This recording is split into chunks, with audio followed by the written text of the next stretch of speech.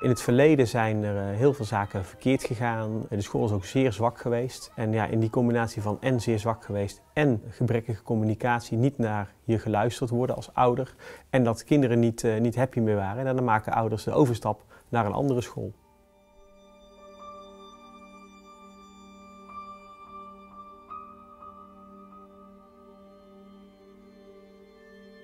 In 2014 werd ik, uh, werd ik hier directeur en uh, toen zaten er eigenlijk tot mijn verbazing maar zeven kinderen uh, op school. En ik had verwacht een kleine school, maar zeven kinderen, ja, dat is wel heel erg weinig. En daar schrok ik in eerste instantie wel van. Ja, ik had een duidelijke opdracht en dat was laat de school groeien en zorg dat je voor 1 oktober 2015 23 kinderen hebt. Want dan werd, eigenlijk, ja, dan werd het oordeel geveld van kan je open blijven of niet, want anders zit je drie jaar onder de opheffingsnorm.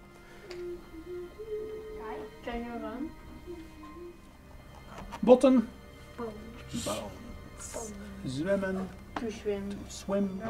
I do not like jellyfish. My favorite animal is Why not? And yours? Op 1 oktober 2015 hadden we 17 leerlingen. Te weinig, ja. Ja, ik zet altijd hoog in en mijn doel was 23. Eh, voelt het als falen? Eh, het was balen. Ja, flink balen. Eigenlijk ook wel falen als ik eh, echt naar mezelf kijk. Ja. Goed zo. Nou, de volgende. 4 plus 5. Nu leegmaken. Perfect!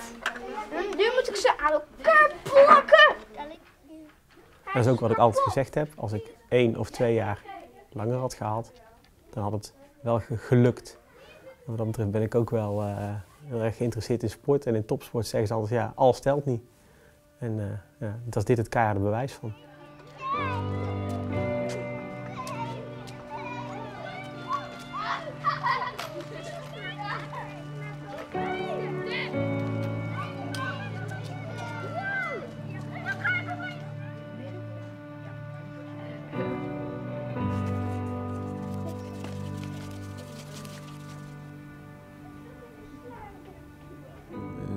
Weten dat de school gaat, gaat, gaat sluiten, maar het is niet zo dat wij uitgebreid met de kinderen in gesprek gaan om te zeggen van weet je, hij gaat, eh, gaat dicht of wat, dat, dat weten ze wel, maar niet de, de reden of zo. eh. Ja, we gaan het gewoon, ja, het is, het is, het is lastig. Ja. Dat beseffen we ons allemaal, eh, hè, ik bedoel, dat doet iets met je. Ja. Hè? Ik bedoel, wees eerlijk, school sluiten doe je niet alledaags. maar dat, ja, Is er wel zicht op dat, dat uiteindelijk alle kindjes een plek gaan vinden? uiteindelijk eh, wel inderdaad. Maar Bij de ene eh, leerkracht binnen- Ik denk dat alle kinderen op een gegeven moment wel een, eh, een plaats zullen krijgen. En Mhm. ik hoop dat dat ook ehm, de plaats is die, ehm, waar de ouders ook achter staan. Mhm, ja. En daar hoor ik eh, bij. ja, dat klopt. Ja, ja, ja, ja, dat klopt. Er is wel extra het verlies van deze school aan, hè? Ja, Hè? En ook net zoals eh, hè, jouw kind die dan... ja, dat is het hem ook juist, weet je. Van, eh, kinderen, hebben, kinderen hebben natuurlijk nog, eh, ja, hoe moet ik het zeggen? Die hebben een, dan sta je de spijker op zijn kop. Van Ja. wat is de kracht van deze school? Ja, omdat je kinderen gewoon een passende plek kan, eh, kan, kan, kan, kan bieden. Eh, en zoals het op het klaverblad is, ja, zo is het. vind je het gewoon Zo vind je het niet. En Nee. dat is gewoon heel zuur. Nee, Dat kan niet. dat kan niet. Dat kan niet. Scholen waar die niet thuis hoort. Mijn zoon heeft een, eh, een vorm van, eh, van autisme. En eh, is wel een heel eh, intelligent kind. Eh, het is een heel vrolijk ventje. En eh, een kracht van hem is, is, is rekenen. Alleen sociaal, emotioneel ja, functioneert hij net even iets anders. Perfect. eens kijk. Oh, ik heb die nog niet gedaan. Voorheen zat hij op een cluster 4 school. Daar is hij vastgelopen. En toen is hij hier eh, op het klaverblad terechtgekomen. Hij is hier wel gaan lezen. Hij is wel hier weer gaan, eh, gaan groeien. En dat komt ook door de kleinschaligheid natuurlijk, wat, eh, wat dat een kracht is. Maar ook gewoon dat de leerkrachten gewoon veel meer eh, tijd in hemzelf hebben, hebben gestoken, zodat hij en hem begrijpen dat hij zich heeft kunnen gaan, eh, gaan ontplooien. Want hij kan ontzettend goed rekenen. Perfect. Gered.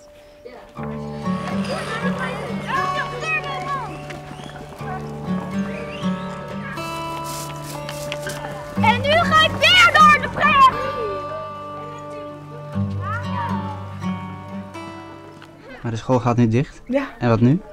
eh, dat is een probleem. Ja, Is er geen andere plek voor hem? eh, op dit moment eh, nog, eh, nog niet eh, wat, eh, waar wij eh, zelf als ouders blij van worden, zeg maar. Het voorstel is weer terug naar cluster 4.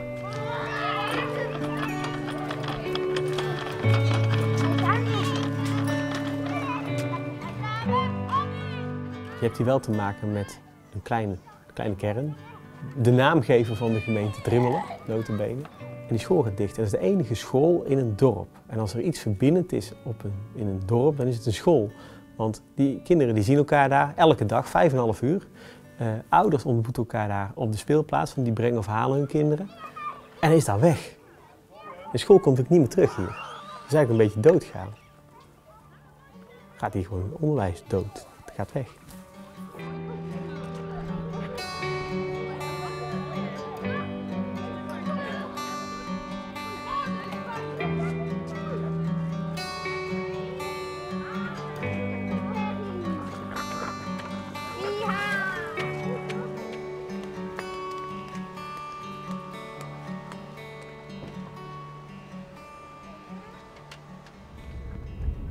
Makkelijk op de fiets, hè, jongen? Nee. Dat is wel jammer, hè? Dat is wel jammer, hè? Ja, dit wordt dan eh, het nieuwe ritueel. eh, iedere morgen naar, eh, naar Malen toe. We kunnen nou kijken hoe lang dat we erover gaan rijden. Ja, dan wordt er verstaan iedere ochtend. Daar is die de school. Hier mag je komen proefdraaien, Jaden. Kijk, zie je allemaal al kindjes? Ga eens kijken of je bekende kindjes ziet, hè? Daar zijn Jane ook dat is een kind Hallo! Hoi, Jaden! Dit was waar hij proef gaat draaien, school nummer 3. En we zijn op vier scholen geweest te kijken. Ja, Lijkt me vermoeiend. Al die scholen langs gaan. we zijn er wel een beetje klaar mee nu. We moeten nou een keuze gaan maken. Ook dat komt goed. Net geen schoudermaatje, maar wel buurmannen om de hoek. Ook een Hè? beetje schoudermaatje. Een klein beetje schoudermaatje. En als jullie een school hebben gekozen in Maden, gaan jullie dan ook in Maden wonen? Die kans zit er wel in, ja. Ja? Ik heb daar wel een beetje mijn lot aan, eh, aan laten overgaan, zeg maar. Van dat die, eh, als de school in Drimmelen dicht zou gaan, dan weet ik niet hoe lang ik in Drimmelen blijf wonen. Ik vind het gewoon belangrijk dat hij hier af kan spreken om eh, na school te gaan spelen. Hé, hey, naar Jane veel plezier, hè, jongen?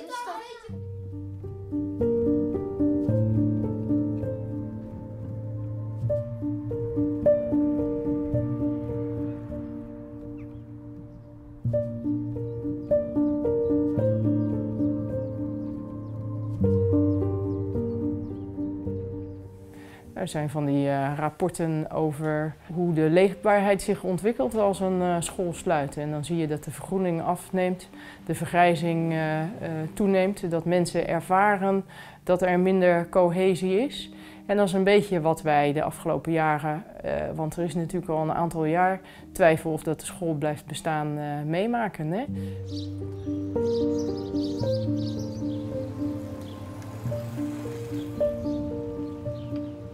Er staan een aantal huizen leeg en eh, de makelaar uit het volgende dorp brengt genoeg families aan. Maar als die dan horen dat er geen school is, dan haken ze toch weer af. En het is zelfs zo erg dat eh, ouders van kinderen hier op school al tegen elkaar vertellen als die school echt dicht gaat, eh, ja, dan, dan gaan wij ook ergens anders naartoe. Het wordt stil en het wordt ook, wordt ook voor de ouderen wordt het, wordt het minder. Ik heb me voorgenomen om tot het eind Ja, te blijven strijden, maar het lijkt erop dat het eind misschien in zicht nou, maar daar strijden we mee. En het erge is dat het, eh, eh, dat het misschien niet zou hoeven. Hè? We hebben genoeg mensen die, Ja. die eh, Ja, willen helpen ja, en dergelijke. Het, het, het dorp Drimmelen dat moet toch ook een beetje bestaansrecht hebben. Hè? En dat, op, op die manier kan dat niet meer. Want de kinderen zijn weg. er is geen school meer. Dus ja, wat blijft er over? Net als wij. Chris is 85 en ik ben er nog 82. Dus eh, Wat vindt u het moeilijkste van dit alles? nou, de school weggaat. En niet anders. En dat er geen medewerking is. Dat is het allerergste nog. Er is geen medewerking van bovenaf. En wat er boven vandaan komt, dat interesseert me geen zak. Helemaal niks. Ja, ik, ik schaar het al. Toch weer te veel. Ja, kijk gelijk. Maar, ja.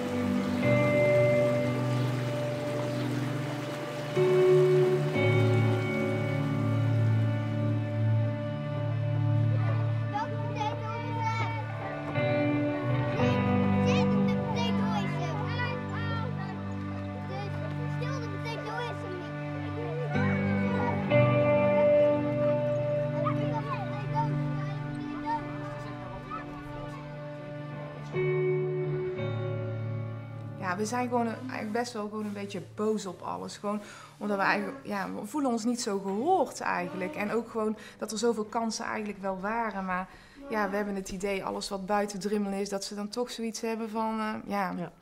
De grens ligt er met die 23 kinderen. Eh, dat zijn de afspraken die we hebben hier in Nederland. En, en dan op een gegeven moment, nou, we hebben drie jaar lang onder die grens gezeten. Dus het, het- ik denk dat het, eh, het schoolbestuur OBO al eh, heel wat gedaan heeft. Want die hadden ook al drie jaar terug de school dicht kunnen doen.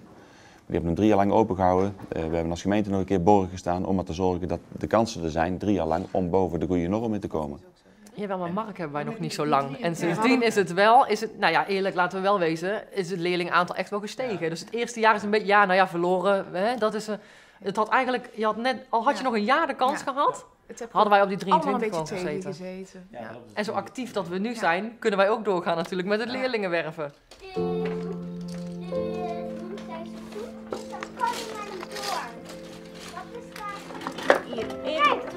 een beetje aan de kant. Dus volgende week woensdagavond gaan wij het Klaverblad Got Talent Show doen.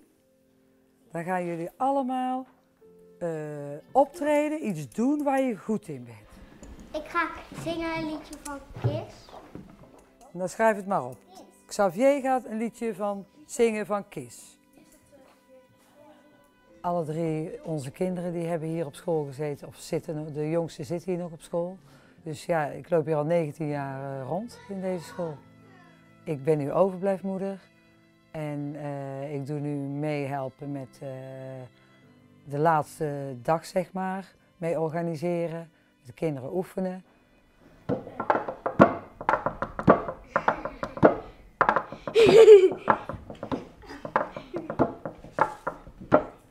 Ceres, wat wil jij gaan zingen? Weet jij het al? Wat voor liedje vind je leuk om te zingen? Weet je het al? Denk er nog even over na. Volgende week de laatste dag. Maar wil je erbij zijn met het moment dat de sleutel in de deur gaat en vergroot de school dicht gaat? Nee, dat denk ik niet. Daar wil je niet bij zijn. Nee. Nee?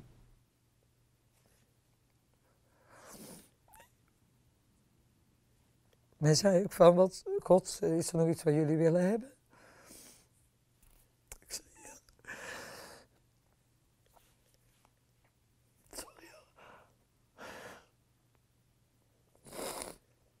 Maar waarom zou je er niet bij willen zijn? Ik weet het niet. Zo definitief. Ja. Zou het misschien goed zijn voor de verwerking, voor het afsluiten? Ja, dat denk ik. Ja, misschien wel. Misschien ook wel. Nou, ik, wil, ik heb wel gezegd van het enige wat ik wil hebben, die zijn die letters aan de muur. Het klaverblad. Die wil ik gewoon aan de rechtmatige eigenaar teruggeven. En dat is mijn afsluiting.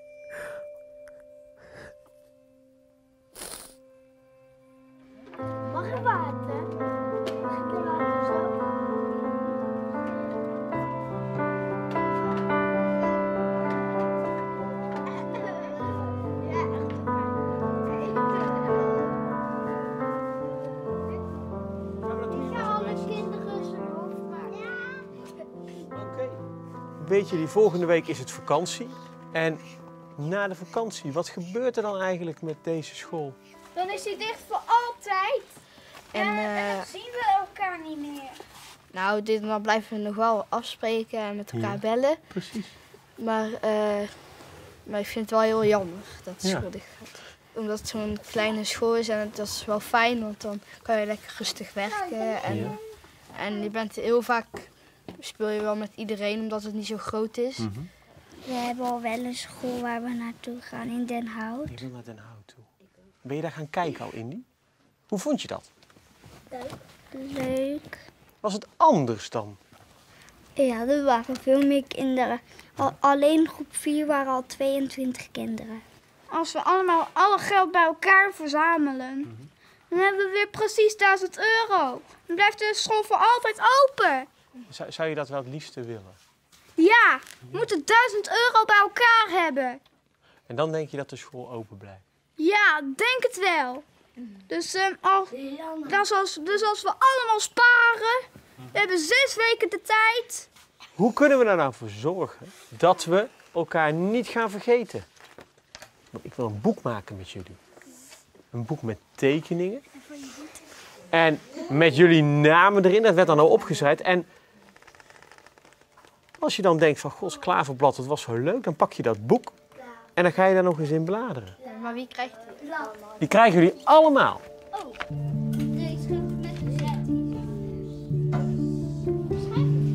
Zou dat lukken, denk je?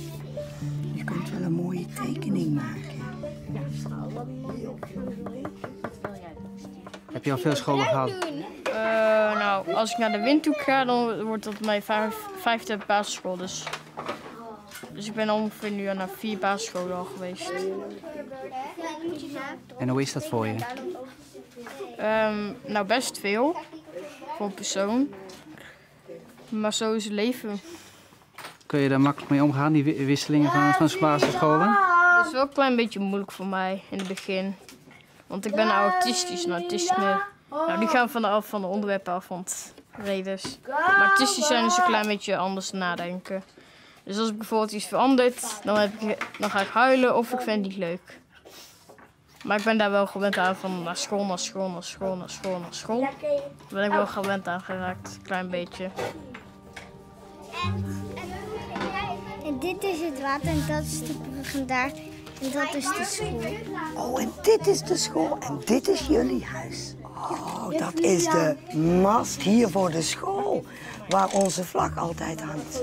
Ja, dat zag je niet aankomen, hè? Die zag ik niet aankomen, inderdaad.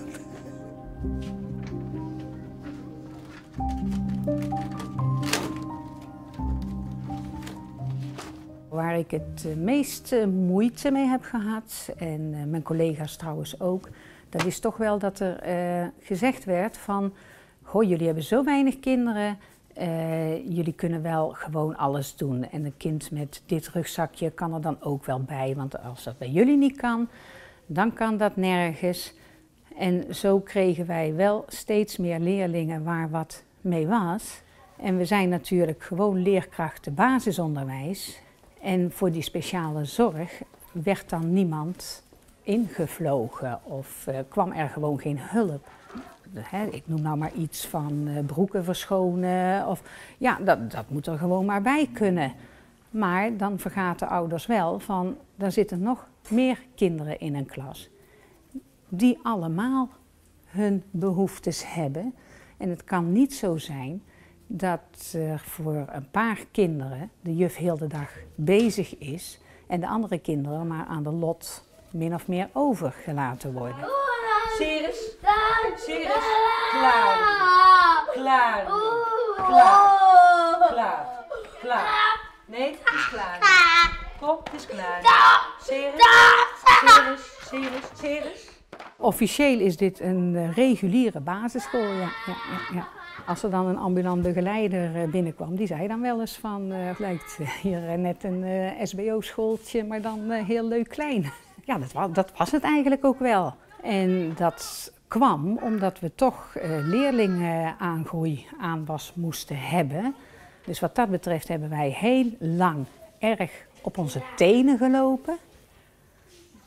Ja, en dat heeft ons toch wel opgebroken.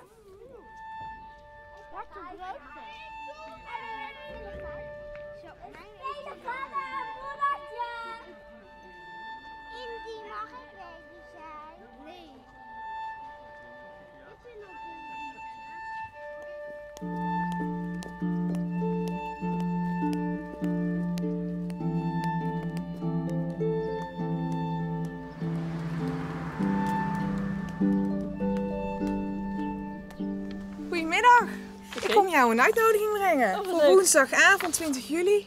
Voor op school. Leuk nou, wij komen natuurlijk. Oh, gezellig. Bij een schooltje, hè?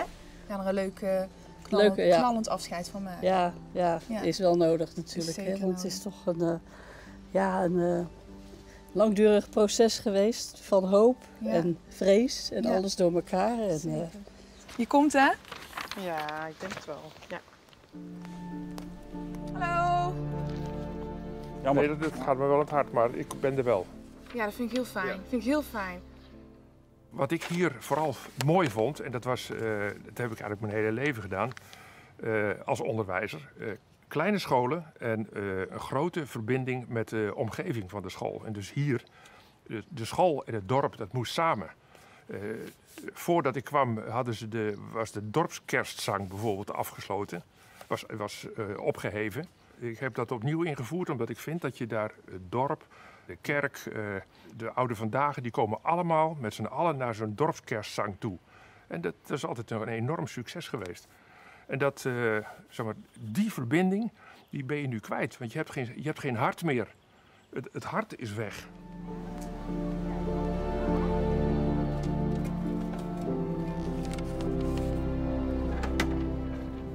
Twee kinderen hebben mij de school hier afgemaakt en twee kinderen hebben eerder van school gehaald. Omdat de school niet meer kon bieden wat kinderen nodig hadden. Maar we hebben het zinkend schip dus eigenlijk eerder verlaten. Om, eh, uiteindelijk gaat het toch om belang van je eigen kind. En dan vind ik eh, een grotere groep kinderen en een groter aanbod aan leerstof en materiaal beter eh, voor je kind. Dus uiteindelijk was ik zelf wel, eh, ja, niet zozeer voor sluiting, maar in ieder geval om mijn eigen kinderen meer perspectief en eh, meer kansen te kunnen bieden. En die kinderen die nu ook van school af moeten, is het eh, beter dat ze nu naar een andere school gaan? Omdat Ja. ze dan, eh, ja? Ja, ik kan me voorstellen dat voor kinderen nu, of eh, dat voor, voor ouders en ook voor kinderen natuurlijk toch wel emotioneel is. En dat ze toch wel echt heel graag eraan vast hebben gehouden. Maar ik denk uiteindelijk dat ook die kinderen over een jaar zeggen van het is beter zo. Want? Hoewel mijn kinderen ook echt wel een leuke tijd hebben gehad in Drimmelen. Omdat ze gewoon meer kinderen gaan ontmoeten. En omdat het meer representatief is voor de grote wereld die gaat komen. De grote middelbare school, die toch ook een groot aantal kinderen heeft. Eh, waar ze meer opgewassen tegen worden. Welkom dames en heren, jongens en meisjes, op de show van het Klaverblad. De kinderen hebben een leuke show voor jullie proberen te maken. En ik hoop dat jullie er vanavond van gaan genieten. Dus leun achterover.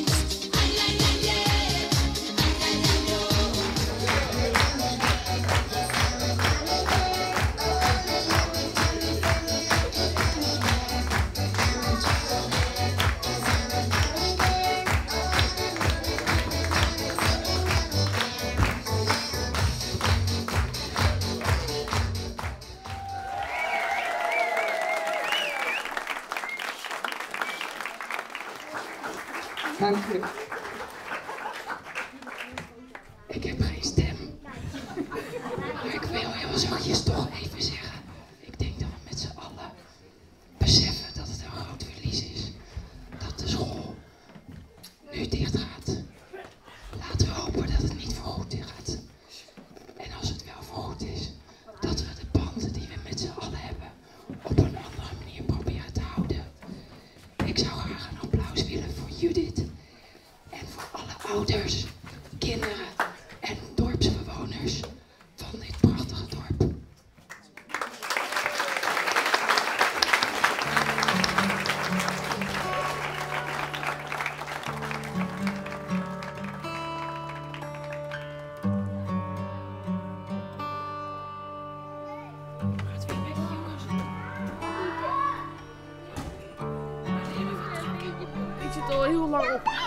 En dan heel mijn leven. En dan ga ik sluiten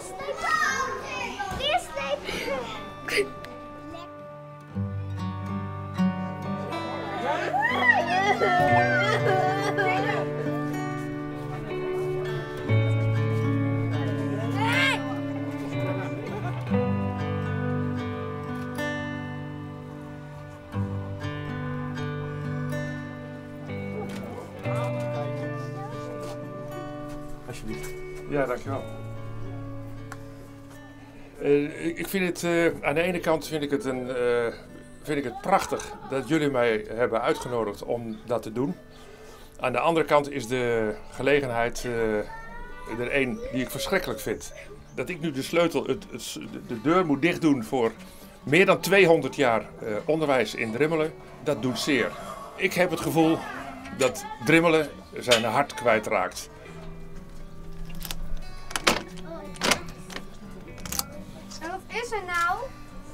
Er nou? De school is nu eh, gesloten.